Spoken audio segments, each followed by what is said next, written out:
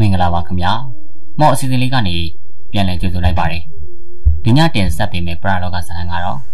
စာရေးသူကိုဖြိုးကြိုက်လိုက်ရဲ့မော်စီယာတယောက်ရဲ့အမှားဆိုတဲ့ပရလောကဇာတ်ကိုတင်ဆက်ပေးသွားတော့မှာပဲဖြစ်ပါတယ်အေးရောင်ရီတိုင်းဒေသကြီးရဲ့ကြံတော်ရွာသူရွာသားတွေကအရန်ကိုပျော်ရွှင်နေကြတယ်အကြောင်းကဒီနေ့ညမှာကြံတော်ရွာရဲ့ရွာဦးဖုန်ကျောင်းအနောက်ဘက်မှာရှိတဲ့မြေခွက်မှာတော့ ရောပြန်ကြော်ဆိုးရဲ့မျက်လက်ခွဲကလာရောက်ပြီးတော့မျက်လက်ပြသမှာဖြစ်တာကြောင့်ဖြစ်ပါတယ်။မျိုးနဲ့အလှမ်းဝေးတဲ့တောရွာတွေဖြစ်တာကြောင့်ပျော်ပွဲရွှင်မော်တွေနွေရာသီနဲ့စောင်းရာသီမှာသာရှိတတ်တာကြောင့်ရွာနေချုပ်ဆက်ကလူတွေကလှဲတရံလှေတရံနဲ့လာရောက်နေရှိကြတယ်။ရောပြန်ကြော်ဆိုးရဲ့မျက်လက်ခွဲကမျက်လက်လက်လက်ပြခွက်တွေကမကဘဲနဲ့လူအရှိနဲ့လက်ကိုပိုက်ခွဲပြီးတော့အုပ်တွေထုတ်ပြခြင်းနဲ့ခေါင်းဖြတ်ပြီးပြန်ဆက်ပြခြင်းစတဲ့ မော်ပြခွက်တွေကိုပါပြသတာကြောင့်လူကြိုက်များပြီးအရန်ကုန်နာမည်ကြီးတယ်။အဲ့ဒီပြခွက်တွေကိုပြသနိုင်မှုအတွက်ရောင်းထဲကိုသွားပြီးတော့ဝိညာဉ်ချုံဒီဝိညာဉ်သွင်းဒီတွေကိုပြင်စောကဝေအောင်လန်းပညာတွေရဲ့အတိုက်အခတ်နှောက်ရက်တွေကိုပါတံပြန်တိုက်ခိုက်နိုင်တဲ့ပညာရက်တွေကို၃နှစ်ကျော်လောက်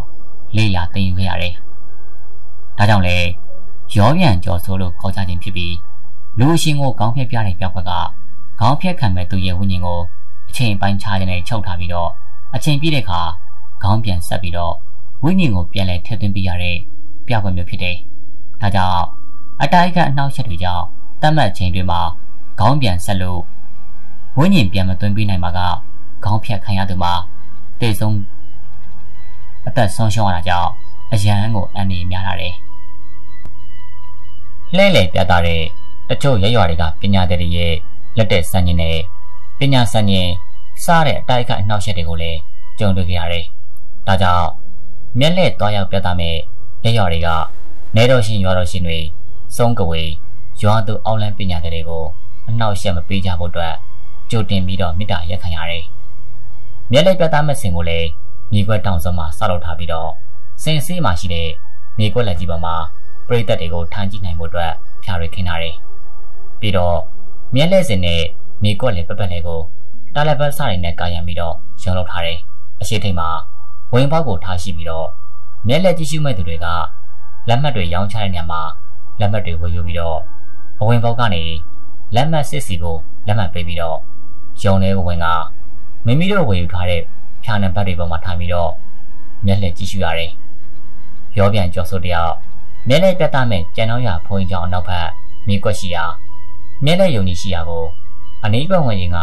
လူတွေပြင်မောင်းတဲ့တွေကုန်းရတဲ့တွေအလှကောင်ဝတ်စားတဲ့တွေကလေးကစားစရာပစ္စည်းတွေနဲ့စီကားနေတယ်။ရောပြန်ကျော်စတို့ခွဲကညအုပ်ပိုင်းမှာ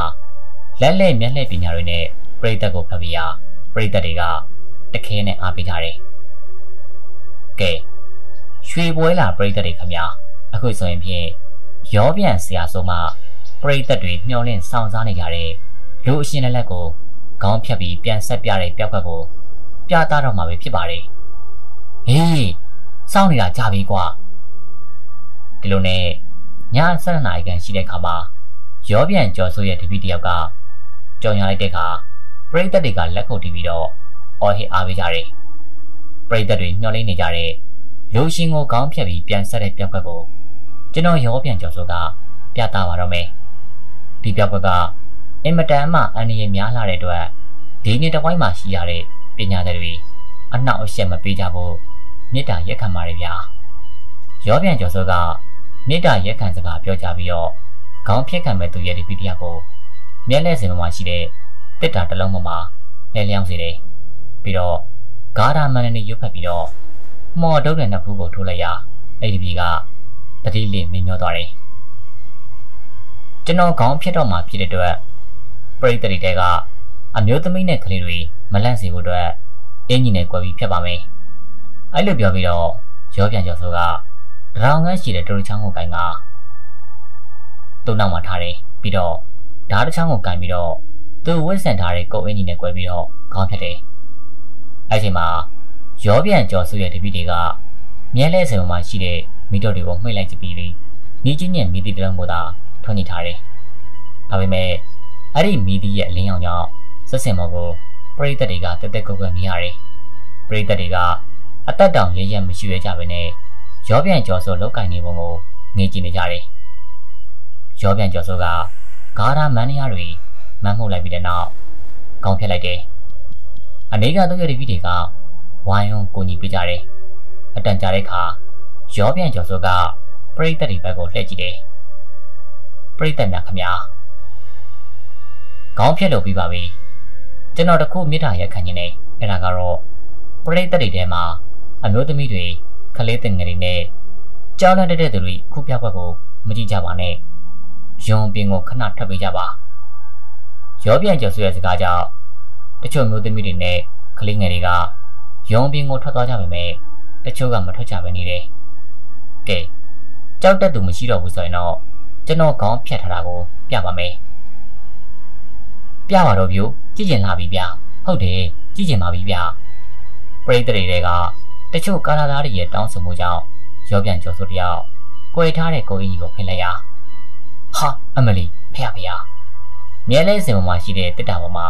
ခေါင်းတခြားကိုတခြားဖြစ်နေတဲ့ရောပြန်ကြော်ဆွဲရတဲ့ပြီကိုမြင်လိုက်ရတာကြောင့်ပရိသတ်တွေစီကကြောက်လန့်ကြအတန်ထွက်ပေါ်လာပြီးတချို့အမျိုးသမီးတွေနဲ့ကလေးတွေပြင်တချို့ယောက်ျားတွေပါတွေးလန့်ပြီးတော့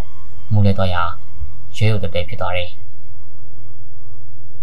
တွေးလန့်လန့်လက်ညင်စရာမြဲလက်စင်ပေါ်မှာရှိတဲ့တတပေါ်မှာခေါင်းဖြတ်ခံထားသူရဲ့ခန္ဓာကိုယ်ကြီးကခေါင်းပေါ်မှာပဲလဲနေပြီးတော့လေပင်ငုတ်တူကြီးကနေတွေးရစီကြနေတယ်။ဘေးနားမှာရှိတဲ့ခေါင်းပြက်ကြီးပါစက်ကလည်းတွေးရစီကြနေတယ်။အဲ့ဒီမြင်ကွင်းကြောင့်တတိကောင်းလာပါတယ်ဆိုတော့ယောက်ျားတွေတော့ရဲရဲမကြည့်ရပဲနဲ့မျက်နှာလွှဲနေကြတယ်။ခေါင်းပြက်ကြီးကို မော်တက်တာတစ်ခုလေးကိုထည့်လိုက်ပြီးတော့မျက်လက်စင်နောက်ကမှောင်ရီထဲမှာထားပြီးခေါင်းမပါတဲ့ခန္ဓာကိုယ်ကြီးကိုမျက်လက်စင်မှာအဝတ်ဖြူအုပ်ပြီးတော့ထားတယ်။အဲနောက်တခြားမျက်လက်လက်လက်ပြားခွက်တွေကိုဆက်လက်ပြီးပြတ်တာတယ်။အဲ့ဒီပြားခွက်တွေဘာမှမရှိတဲ့ဘိုးတွင်ကပြိတ္တစားလို့တဲ့စားသားတွေကိုမေးပြီးတော့ဘိုးတွင်မှာပဲအချင်းတော့ကုန်ရဆက်လက်တွေကိုနှိုက်ယူပြီးတော့ပြိတ္တတွေစီကိုပြစ်ကျဲပေးတယ်။ရောင်စုံဆက်ကိုပိုင်းစားတွေကိုဝါစားပြီးတော့ ရောင်စုံဆက်ကိုအရှိကြီးကိုဝမ်ပိုက်ထဲကပြန်အန်ထုတ်ပြခြင်းစတဲ့ပြကွက်တွေနဲ့တခြားမျက်လက်လက်လက်ပြကွက်တွေကိုဖြစ်ပြီးပြပြတယ်။ပရိသတ်တွေကမျက်တာအားပေးကြတယ်။အဲဒီအချိန်မှာပဲမျက်လက်စင်မောင်ကိုကလေးတင်ငယ်တွေကတက်ပြီးတော့တောင်းရန်ဆက်တောက်ကြတယ်။အစိုးဆုံးကတော့ရောင်းချောင်းကကိုရင်လေးနန်နီယာဖြစ်ပြီးကိုရင်လေးနန်နီယာကအသက်73နှစ်ခန့်ရှိပြီးတော့ဆရာတော်ကြီးရဲ့တူဝမ်ွက်တော်ဆက်သူဖြစ်ပြီးအကြောက်လည်းမရှိအရန်ကိုဆိုတယ်။ မျက်လက်ဖွဲကဆင်းခိုင်းပေမဲ့ပိကက်ကက်လုံးနေပြီးတော့မျက်လှည့်စင်တောင်းမှထိုင်နေတယ်။ရောပြန်ကြော်ဆိုနဲ့မျက်လက်ဖွဲသားတွေလည်း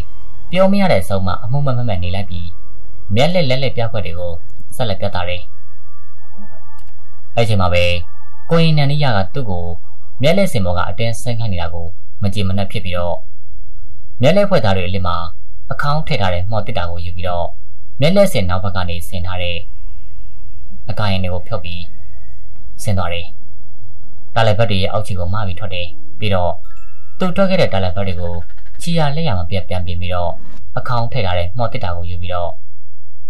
အမောင်ကြီးထဲကိုဝင်ရောက်သွားတယ်ဒီလိုနဲ့နိုင်ရွက်ခန့်ကြတဲ့ခါမှာကဲရွှေပွဲလာပြိသက်တွေခင်ဗျာခေါင်းပြန်ဆက်ဖို့အတွက်တတ်မှတ်ထားတဲ့အချိန်ပြည့်ကန်နေဖြစ်လို့ပြိသက်တွေမျှော်လင့်နေကြတဲ့ခေါင်းပြန်ဆက်တဲ့ပျောက်ကက်ကို ပြသပါတော့မယ်ခင်ဗျာပြပါတော့ဗျပြပါတော့ဗျကြည့်ကျင်နေပြီပရိသတ်တွေအော်ဟစ်တောင်းဆိုကြတာကြောင့်အခေါင်းထည့်ထားတဲ့မှော်တစ်တာကိုသွားပြီးတော့ယူရတစ်တာကမရှိတော့ပဲပျောက်သွားတယ်အဲ့ခါမှာရောပြန်ကြောဆိုလို့ဖွဲ့မျက်လုံးပြီးမျက်စံပြဖြစ်ကုန်တယ်တမ်းမတ်ချိန်တွင်မှာခေါင်းပြန်ဆက်လို့မရပါကဝိညာဉ်ပြန်သွင်းလို့လည်းမရတော့ဘူးခေါင်းဖြတ်ခဏသူကအမှန်တကယ်တည်ဆုံးရလိမ့်မယ် ဒါကြောင့်နေရာနှံ့ပြားမှလိုက်ရှာရပေမဲ့မတွေ့ရဘူးအဲဒီကရောပြန်ကျော်ဆိုကကျွန်တော်တပည့်ရဲ့ခေါင်းကိုထိထားတဲ့တစ်တာကိုယူထားသူရှိနေပါတယ်အခုချက်ချင်းပြန်ပေးဖို့မေတ္တာရက်ခံပါတယ်အချိန်ကျော်သွားရင်တော့ကျွန်တော်တပည့်အတွက်အသက်အန္တရာယ်ရှိတယ်ဒါကြောင့်အမြန်ပြန်ပေးပါခင်ဗျာအဲ့ခါမှာပရိသတ်တွေကလှုပ်လှုပ်ရွရွဖြစ်သွားတယ်ဟဲ့ဒီလိုခေါင်းပြက်ပြီးထည့်ထားတဲ့တက်တာကိုဘသူကမှယူသွားလည်းမသိဘူးနော် ဒါတာမန်တော့မဟုတ်ဘူးပညာသည်တွေပညာစမ်းမြင်တူတယ်ဖြစ်နိုင်တယ်တာမန်လူကတော့ယူမှာမဟုတ်ဘူးငါဆိုကြည့်တာနဲ့တင်ကြက်သိမ်းထားတယ်ပရိသတ်တွေကတီးတို့ဝူပြန်ပြောဆိုကြပေမဲ့အကောင့်ထည့်ရတဲ့တစ်တာကိုယူသူပေါ်မလားရောပြန်ကြော်ဆိုးတို့ဖွဲ့ကတက်မချိန်ပြေးဖို့အတွက်အရန်ကိုနေကက်နေပြီဖြစ်တာကြောင့်ခေါင်းမီတောက်နေကြတယ်ကျွန်တော်တပည့်ရဲ့ခေါင်းကိုယူထားတဲ့ပညာတွေကိုမေတ္တာရက်ခတ်ပါတယ် အမြန်ဆုံးပြန်ပေးပါတတ်မှတ်ထားတဲ့အချိန်ကျော်သွားရင်အသက်အန္တရာယ်ရှိတဲ့အတွက်အမြန်ပြန်ပေးဖို့အနှုံးညွတ်ကိုမေတ္တာရက်ခတ်ပါတယ်ရောပြန်ကျော်စိုးကမေတ္တာရက်ခတ်နေပြီမဲ့ဘလို့မှထူးခြားမလားပရိသတ်တွေကလည်းငြိမ်သက်နေတယ်သုံးချိန်သုံးခါလောက်မေတ္တာရက်ခံတောင်းမှလို့ဖိတ်ခေါ်ပြီးမဲ့ဘလို့မှရောက်မလာဘူးဒါကြောင့်ရောပြန်ကြော်စိုးတယောက်ဒေါသထွက်လာတယ်ကဲ ခေါင်းကိုယူထားတဲ့ပညာတဲ့ခမညာအစကလေးကလည်းမနှောက်ယှက်ဖို့မေတ္တာရက်ခံတာတယ်ဒါကိုနှောက်ယှက်ပြအောင်နှောက်ယှက်တယ်အခုလေတင်ကမေတ္တာရက်ခံပြီးတောင်းလို့မရဘူးဆိုမှတော့ကျွန်တော်ကလည်းလှုပ်ရှားရှိတာလုပ်ရတော့မယ်ပြီးတော့မှကျွန်တော်ကိုအစိုးမစိုးပါနဲ့ရောပြန်ကျော်ဆိုကသူ့ရဲ့မော်တက်တာတွေကဘူးစလေးတို့ထုတ်လိုက်တယ်။နေလက်စင်မော်မေပြူကိုချတယ်ပြီးတော့ရေတစ်ခွက်ကိုယူပြီးတော့ဂါရတဘုတ်ကိုတီတို ရွတ်ဆော်ပြီးတော့မန်းမုတ်တယ်။ပြီးတဲ့အခါမှာပရိသတ်ဘက်ကိုကြည့်ပြီးတော့ကဲကျွန်တော်နောက်ဆုံးမေးပါမယ်။ကျွန်တော်တပည့်ရဲ့ခေါင်းကိုယူထားတဲ့ပုတ်ကိုခေါင်းကိုအမြန်ပြန်ပေးပါမဟုတ်ရင်တော့ကျွန်တော်အစိုးမဆိုပါနဲ့အတန်ကျဲနဲ့ပြောဆိုပေမဲ့ပရိသတ်ကငြိမ်သက်နေတယ်အဲ့ခါရောပြန်ကျော်ဆိုကရေခွက်တဲကရေတွေကိုဘူးစီပေါ်ကိုလက်ပြန်လောင်းချတယ်ဟာဟင် ဖះဖះအဲ့ဒီခါမှာတော့ငြိမ်သက်စွာကြီးရှုနေကြတဲ့ပရိသတ်တွေစီကအံ့ဩတန်ကြီးနဲ့အာမရိတန်တွေထွက်ပေါ်လာတယ်အကြောင်းကရောပြန်ကျော်ဆိုကရေကိုလက်ပြန်လောင်းချလိုက်တဲ့ခဏတွင်မှာဘူးစီတွေကအကွက်လာပြီးတော့ချက်ချင်းမဲ့အညွန့်ခတ်တွေထွက်လာကဘူးပင်ကြီးတစ်ပင်ဖြစ်သွားတာကြောင့်ဖြစ်တယ်။မကြုံစဘူးအရန်ကိုထိုးဆန်းလာတဲ့ဖြစ်ကြောင်းပရိသတ်တွေအသက်တောင်ရဲရဲမရှူရကြဘဲနဲ့ငြိမ်သက်စွာနဲ့ငေးကြည့်နေကြတယ်။ ရောပြန်ကျော်စိုးကသူ့တပည့်ရဲ့ခေါင်းကိုဖျက်တဲ့ထားကိုယူပြီးတော့ဘူးပင်ကိုအားကုန်လွှဲပြီးခုတ်ချလိုက်ရာဘူးပင်ကအောက်ခြေကနေပြတ်သွားတယ်။အဲ့ချိန်မှာဘူးပင်ပြတ်ချသွားတဲ့ချိန်မှာပဲမျက်လက်ယုံနောက်ဘက်ကနေအားဆိုတဲ့နာကျင်စွာអော်လိုက်တဲ့အတန်ကိုကြားလိုက်ရတယ်။ဒါကြောင့်ရောပြန်ကြော်ဆိုလို့မျက်လှည့်ဝဲသားတွေနဲ့ရက်ရွာလူကြီးတွေကအတန်ကြားစီကိုပြေးလွှာတွားရောက်ကြည့်ရှုတဲ့အခါအခေါင်ထည့်ထားတဲ့မှော်တစ်တာကို ကင်ပြီးတော့တေဆုံးနေတဲ့ကိုရင်နန်နီယာကိုတွေ့ရတယ်။ဒါကြောင့်ထိတ်လန့်သွားကြတယ်။အဲဒီခါမှာပဲကိုရင်နန်နီယာမျက်လဲစင်ပေါ်မှာထိုင်နေရကနေခေါင်းထည့်ထားတဲ့မှော်တစ်တာကိုယူဆောင်သွားတာကိုသိရှိလိုက်ကြပေမဲ့ဘလို့မှမတတ်နိုင်တော့ဘူးကိုရင်နန်နီယာကရောပြန်ကြော်ဆိုရဲ့တစ်ချက်လို့အတိုက်နဲ့တေဆုံးနေတယ်လို့ခေါင်းဖြတ်ခံထားတဲ့သူကလည်းတတ်မှတ်ချိန်ကြော်လွန်သွားပြီဖြစ်တာကြောင့်အသက်တေဆုံးရတယ်။အဲ့ခါမှာ ရောပြန်ကြော်ဆိုတယောက်လူနှစ်ယောက်တေဆုံးမှုနဲ့တရားရင်ဆိုင်ခဲ့ရပြီးနောက်ဆုံးမှာတရားရုံးကရောပြန်ကြော်ဆိုကို ထောင်တန်တစ်နှစ်ချမှတ်ပြီးတော့မျက်လှည့်ပြတ်သားခွင့်ကိုလည်း၃နှစ်တာများပိတ်ပင်လိုက်တယ်။ထွန်းလူတို့မိသားစုထမင်းဝိုင်းလေးကတပြင်းပြင်းတန်ကြောင့်ခဏတိတ်ဆိတ်သွားတယ်။တကယ်တော့တကားခောက်တာတကားကဝထရန်နဲ့လှုပ်ထားတာမလို့တောက်တောက်လို့မြည်ရမယ်စား တပြင်းပြင်းနဲ့အတန်ထွက်နေတယ်။ခလေးပေါစနာတွေကိုခြိထားတဲ့မိဘူးကကိုထွန်းသွားကြည့်ပါဦး။ဒီအချိန်ကြီးဘယ်သူလဲမသိဘူး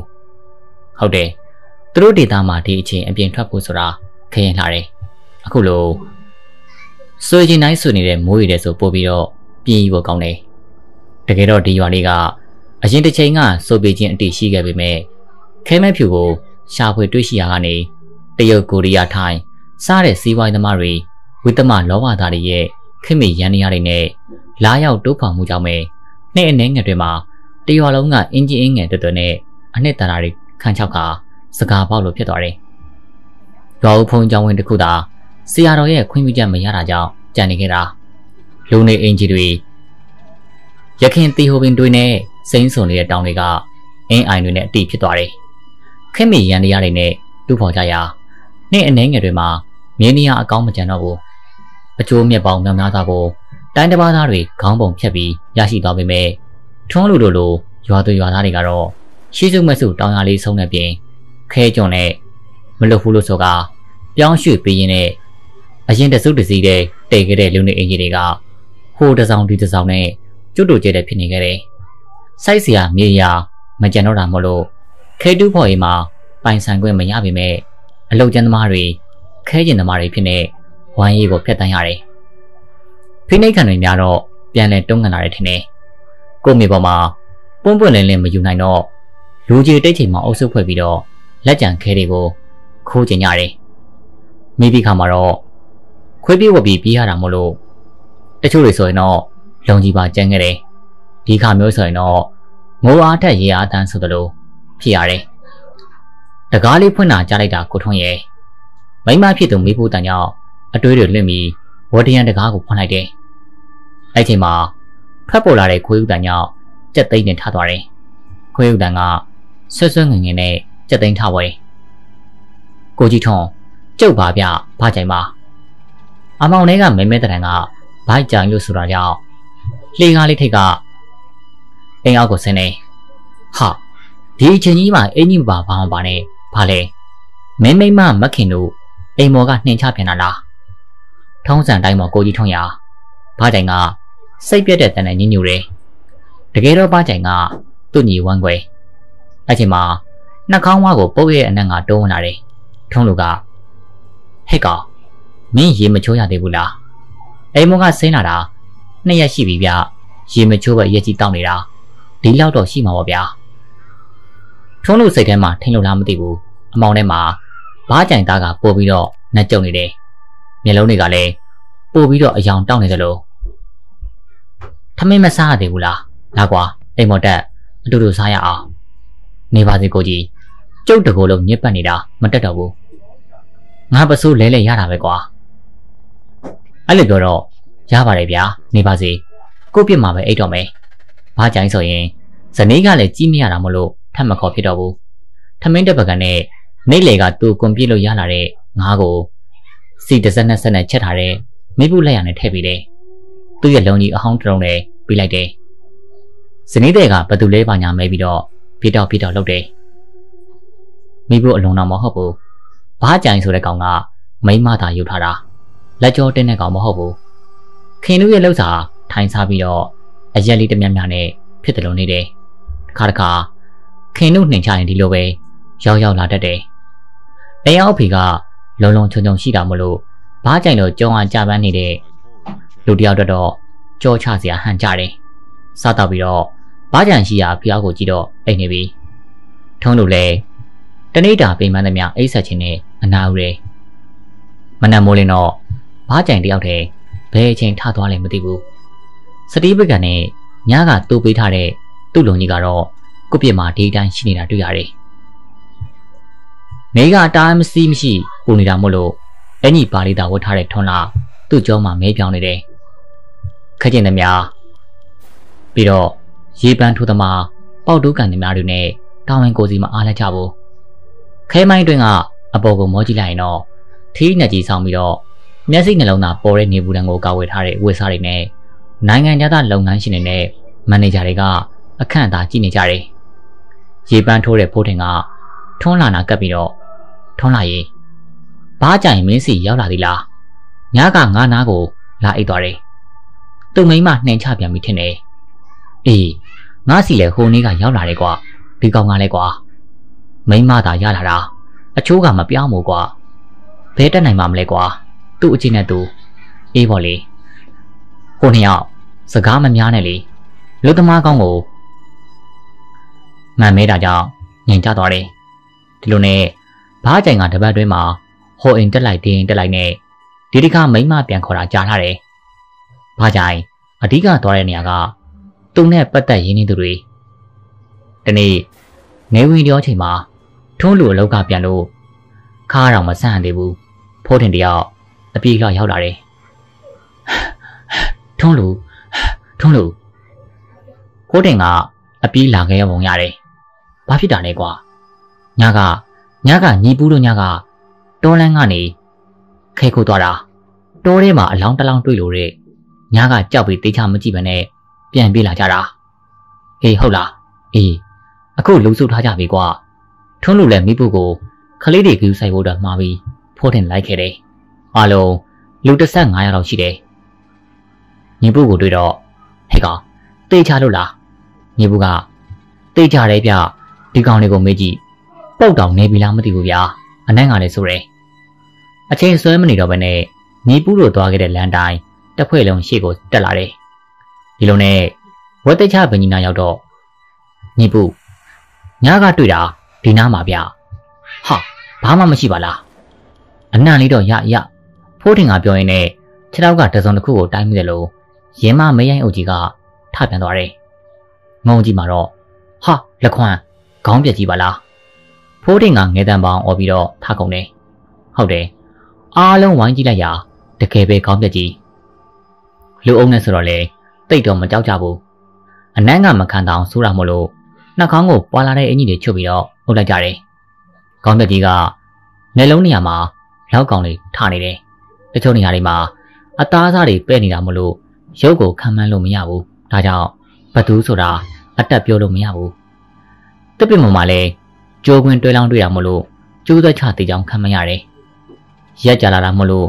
ကျိုးသက်ချတေးတာနဲ့ဆက်ပြုတ်သွားပြီဒါကြောင့်ခန္ဓာကိုယ်ဆွဲရနဲ့ကျိုးသက်ချတဲ့နိုင်လွန်ကြိုးကြီးစားကပုတ်ပွားလာပြီးတော့အသားကိုပြတ်တော့ကခေါင်းတခြားကိုယ်တခြားဖြစ်သွားတယ်ဟေးတပိုင်းရှာကြပါအောင်ကွာဟာဒီမှာတွေ့ပြီ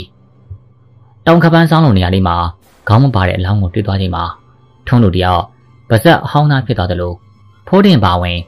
ဘားကြိုင်ဒီတစ်ပတ်အတွင်းသွားခဲ့တဲ့ဘားကြိုင်ရဲ့တောက်ဖို့တောက်ဖက်တွေပါပါဇက်အဟောင်းသားဖြစ်သွားတယ်။အဲနောက်တင်ကြီးတင်ညွတ်ထဲရေရွတ်လိုက်ကြတယ်။ဒါဒါဘာဘားကြိုင်ဟုတ်တယ်။ခေါင်းမပါတဲ့အလောင်းကောင်မှဝတ်ထားတဲ့လုံကြီးက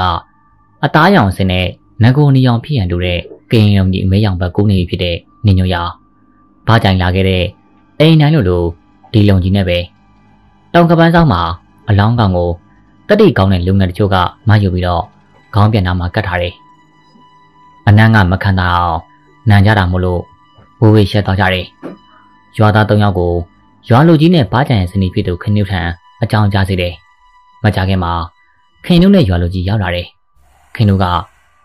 အဖြစ်ဆိုးလာကြည်လားကိုပါကြိုင်။ရှင်ရှင်ကိုတကယ်သိလိုက်ဖို့ခင်နှုတ်မပြောပါဘူး။အဲနောက်ခင်နှုတ်ကဘားကြံအိမ်ကဆင်းသွားတာ တပတ်လောက်ရှိဖြစ်ကြောင်းနဲ့ဒီကြားထဲမှာအိမ်မပြန်ကြောင်းရှင်းပါတယ်။ဘာကြိုင်ကိုစိတ်ဆိုးမှန်ဆုံးနဲ့နင်းသေးမအေးမယ်ပြန်မလာနဲ့အဲ့လိုပြောမိကြောင်းပြောတယ်။ဒါကြောင့်မုံမှုနဲ့မိမပြောသလိုထင်တယ်လို့လုံးလိုက်ခြင်းဖြစ်ရာခင်တို့စီပြန်မသွားပေမဲ့ထုံးလူဖိုးထင်နဲ့သူ့သွားခဲ့တဲ့တောက်ဖို့တောက်ပတ်မိတ်ဆွေတွေကပြန်စင်စားရင်းနဲ့ကြောထဲမှာစိတ်လာတယ်။အဲဒီနေ့မှာပဲလူသိမှုမို့လို့ရဲစခန်းကိုအမြန်ကြောင်းကြတယ်။ခွင့်ပြုမရတာနဲ့ အလောင်းကိုတရဏဂုံတင်ပြီးတော့ပုတ်ပွားနေပြီဖြစ်တဲ့အလောင်းကောင်ကိုအမြန်ပဲတချိုလိုက်ရတယ်။ဘာကြိုင်ကိုရေစက်ချအမျှဝယ်ပြီးနောက်ပိုင်းမှာတော့အဲ့ဒီဒေါ်လန်လေးကိုလုံးဝအသုံးမပြုတော့ဘူး။ဒီမှာနေမယ်ကျွန်တော်တင်ဆက်ပေးကြတဲ့ပရလောကဇလံပြီးဆုံးပါပြီ။နားထောင်သူမိတ်ဆွေများလည်းကိုယ်စိတ်နှပြကျမ်းမာချမ်းသာတော်မူကြပါစေခင်ဗျာ။